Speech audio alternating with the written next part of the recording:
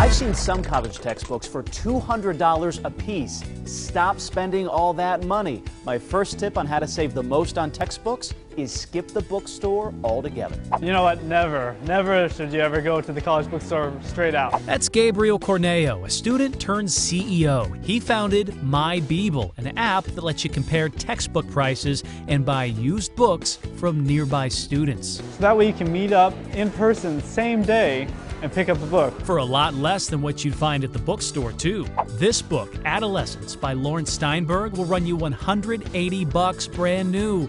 But we saw it on the MyBeeble app from $27 to $42. That's a great deal. MyBeeble even forms a social network with other students in that class, so you can easily pass books to each other, even exchange notes. Best of all, it's free.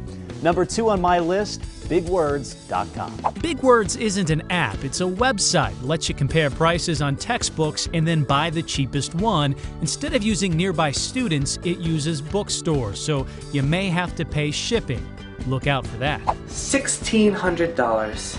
I have to buy $1,600 worth of books all at once. Finally, instead of buying a textbook, why not rent it? BookRenter.com and Chegg.com are two websites that let you do just that. BookRenter has free shipping both ways, Chegg doesn't. But not every website will offer the same books, so it helps to shop around. You can rent a book for a fraction of what you'd pay if you purchased it. And the MyBeeble app I talked about earlier also lets you compare prices on rentals, because most students who buy textbooks feel the way Gabriel did. We all feel like we got ripped off.